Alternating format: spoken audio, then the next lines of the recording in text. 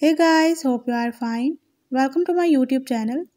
In my today's video, I'll be sharing with you how to fix speaker not working and no sound or audio problem in HP Victus. But before we start, if you're new to my channel, don't forget to hit the red subscribe button and the bell icon so you won't miss any of my future updates. Now watch this complete video.